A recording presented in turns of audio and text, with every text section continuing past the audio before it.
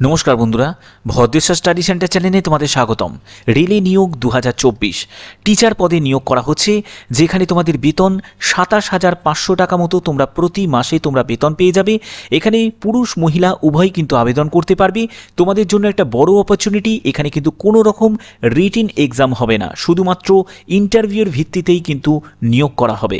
কোনো আবেদন মূল্যও লাগছে না, কোনো রিটিন এক্সামও হবে না, কোনো অভিজ্ঞতার প্রয়োজন নেই। এটি তোমাদের জন্য একটা বড় অপরচুনিটি ইন্ডিয়ান রেলের তরফ থেকে।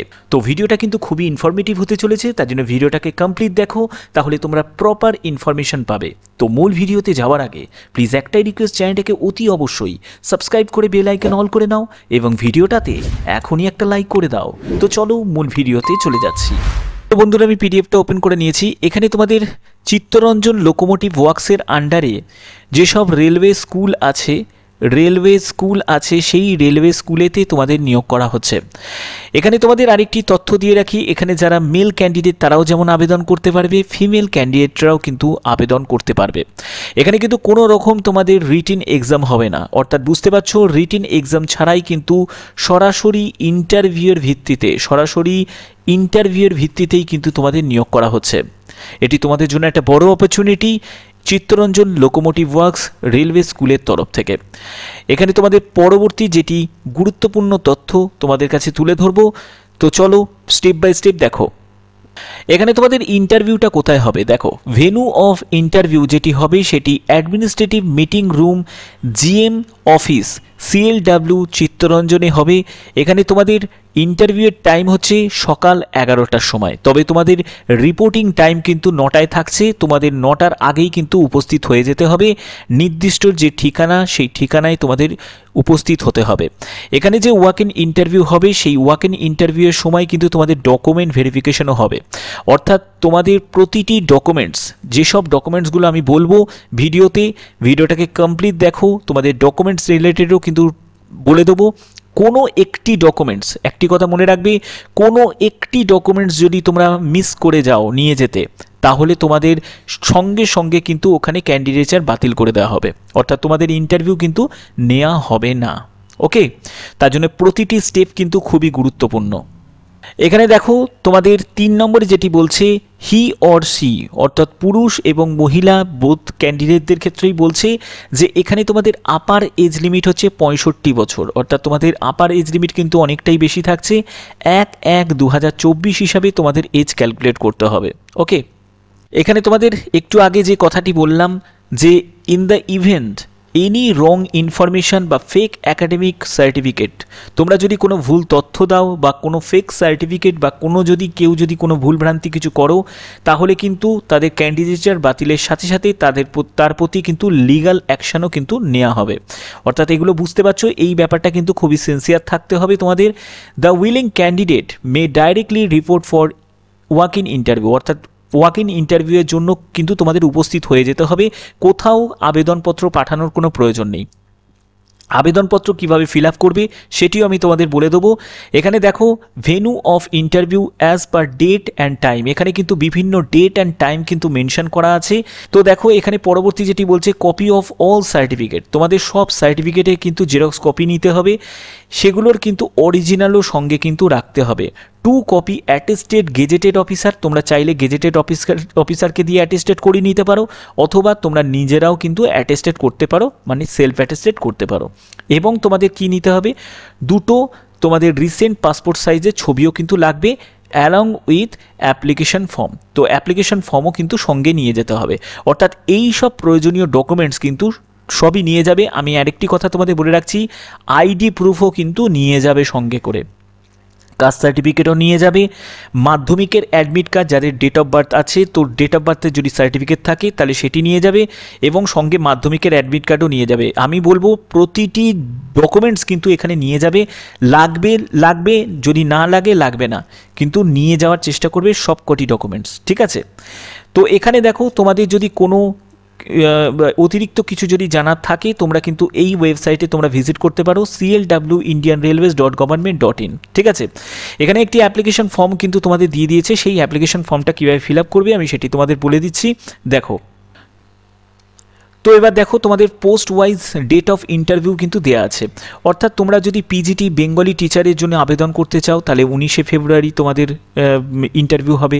তারপরে তোমরা যদি পিজিটি ফিজিক্সের জন্য আবেদন করতে চাও, উনিশে ফেব্রুয়ারি ইংলিশের জন্য কুড়ি ফেব্রুয়ারি, ম্যাথামেটিক্সের জন্য কুড়ি ফেব্রুয়ারি, হিস্ট্রির জন্য হচ্ছে একুশে ফেব্রুয়ারি, ইকোনমিক্সের জন্য একুশে ফেব্রুয়ারি, পল সায়েন্সের জন্য বাইশে ফেব্রুয়ারি, কমার্সের জন্য বাইশে ফেব্রুয়ারি, তারপরে হচ্ছে টিজিটি ফিজিক্যাল এডুকেশনের জন্য তেইশে ফেব্রুয়ারি, পিজিটি হিন্দির জন্য হচ্ছে তেইশে ফেব্রুয়ারি এবং পিআরটি কম্পিউটারের জন্য হচ্ছে তেইশে ফেব্রুয়ারি। অর্থাৎ এই হচ্ছে ইন্টারভিউ তোমাদের ডেট ঠিক আছে, এগুলো দেওয়া আছে টাইম আমি অলরেডি বলে দিয়েছি।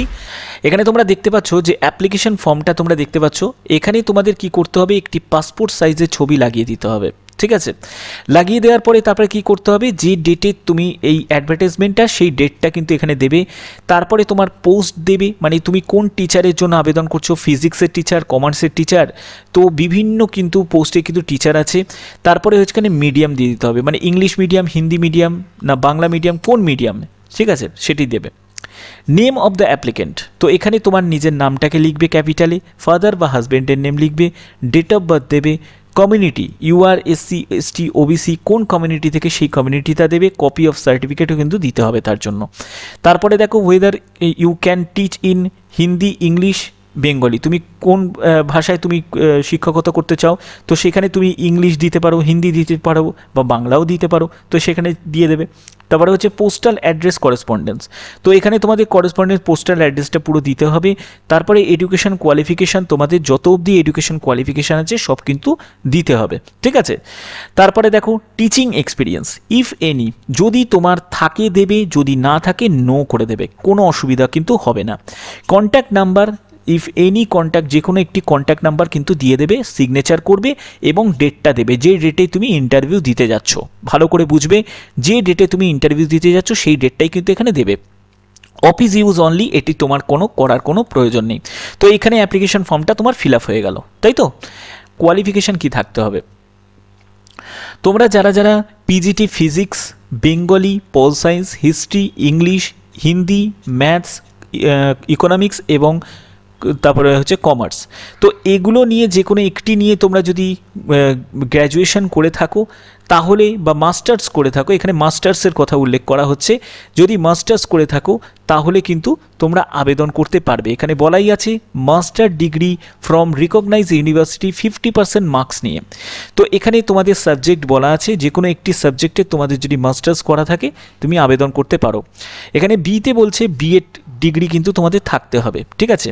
তারপরে সিতে বলছে proficiency in teaching concern medium medium তো এই মিডিয়ামে যে মিডিয়ামে তুমি আবেদন করছ, সেই মিডিয়াম মিডিয়ামে তোমাদের টিচিং একটি কনসার্ন কিন্তু থাকতে হবে, ঠিক আছে? প্রফিসিয়েন্সি থাকতে হবে। হবে।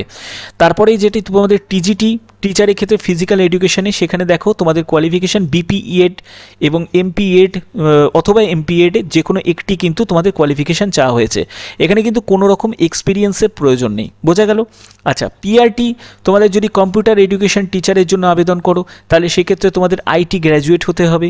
অথবা তোমরা যদি বিসিএ করে থাকো, আবেদন করতে পারবে, অথবা তোমরা এমসিএ করলেও কিন্তু আবেদন করতে পারবে। এখানে ডিজারেবল দেখো, অগ্রাধিকার দেওয়া হবে যদি তোমার টিচিং এক্সপিরিয়েন্স থাকে। বাট যদি এক্সপিরিয়েন্স নাও থাকে তাহলেও কিন্তু তোমরা আবেদন করতে পারবে। ক্লিয়ার ব্যাপারটা? আচ্ছা কম্পিউটার এডুকেশন টিচারের জন্য তোমরা একুশ হাজার পাঁচশো টাকা প্রতি মাসে বেতন পাবে। ফিজিক্যাল এডুকেশন টিচারের জন্য তোমরা ছাব্বিশ হাজার দুশো পঞ্চাশ টাকা প্রতি মাসে বেতন পাবে। আর যারা যারা এখানে পিজিটি যেসব টিচার আছে, এই টিচার পদের জন্য আবেদন করলে তোমাদের এখানে তোমরা যে টিচার হিসাবে নিযুক্ত হলে সেখানে সাতাশ হাজার পাঁচশো টাকা মতো তোমরা প্রতি মাসে বেতন পেয়ে যাবে। তো এখানে কিন্তু তোমাদের সম্পূর্ণ কন্ট্যাকচুয়াল ভিত্তিতে নিয়োগ করা হচ্ছে। এখানে কন্ট্যাক্ট পিরিয়ডটা যেটি থাকছে, এক বছরের কন্ট্যাক্ট। তো আমি বলব, যদি তোমাদের সুযোগ সুবিধা থাকে, যেহেতু এখানে কোনো রকম আবেদন মূল্য লাগছে না, ঠিক আছে? কোনো রকম আবেদন মূল্য লাগছে না, তো যদি তোমাদের কোনো সুযোগ সুবিধা থাকে, অবশ্যই কিন্তু তোমরা আবেদন করতে পারো এই টিচার পদের জন্য। কারণ কোনো গভর্নমেন্ট সেক্টর থেকে তোমরা জানো, এখন বর্তমান সময়ে কিন্তু অনেক জায়, অনেক অভিজ্ঞতার প্রয়োজন হয়। যে কোনো জায়গায় কাজ করতে গেলে অভিজ্ঞতার প্রয়োজন হয়। তো এই অভিজ্ঞতা যদি তোমার রেল থেকে যেহেতু প্রোভাইড করছে তো সেই ক্ষেত্রে তোমরা এই অপরচুনিটিটাকে কাজে লাগাতে পারো। এখানে যেটি মেডিকেল স্ট্যান্ডার্ড চাওয়া হয়েছে, সেটি সি টু মেডিকেল স্ট্যান্ডার্ড এই মেডিকেল স্ট্যান্ডার্ড নিয়ে ঘাবড়ানোর কিছু নেই। একদম লো ক্যাটাগরির একটি মেডিকেল স্ট্যান্ডার্ড যেখানে একটি চোখে যদি দৃষ্টিশক্তি নাও থাকে, তাহলেও আবেদন করা যাবে এবং আরেকটি চোখে হচ্ছে ছয় বারো চোখে চশমা পরে অথবা না পরে ঠিক আছে? তো এই মেডিকেল স্ট্যান্ডার্ড অনেকেই কিন্তু কোয়ালিফাই করে যেতে পারবে। তো এগুলো মোটামুটি তোমাদের একটি কমপ্লিট আমি ইনফরমেশান দিয়ে দিলাম। তো এর মানে বিজ্ঞপ্তি কিন্তু এর আগেও কিন্তু প্রকাশিত হয়েছিল। কিন্তু এটা কোনো অ্যাডমিনিস্ট্রেটিভ কারণবশত সেই ইন্টারভিউটা কিন্তু হয়নি, তবে রেল কিন্তু আবার একটি সুযোগ দিচ্ছে। তোমাদের কোনো আবেদন করার কোনো প্রয়োজন নেই। যেসব ডকুমেন্টস বললাম এবং অ্যাপ্লিকেশন ফর্ম বললাম, এর পিডিএফ নিয়ে ফর্মটা ফিল আপ করে সেগুলো, সব ডকুমেন্টসগুলোকে অ্যাটাচ করে নির্দিষ্ট সময়ে, নির্দিষ্ট ঠিকানায় কিন্তু উপস্থিত হয়ে যেতে হবে। তো আশা করি তোমাদের আমি কমপ্লিট একটি ইনফরমেশন দিয়েছি। তো যদি ভিডিওটা ভালো লাগে, অতি অবশ্যই ভিডিওটাতে লাইক করবে চ্যানেলটাকে সাবস্ক্রাইব করে বেল আইকন অল করে রাখবে। জব রিলেটেড ইনফরমেশন সবার আগে পাওয়ার জন্য অতি অবশ্যই চ্যানেলটাকে কিন্তু সাবস্ক্রাইব করা মাস্ট তো আজকের মতো এটুকুই, টাটা।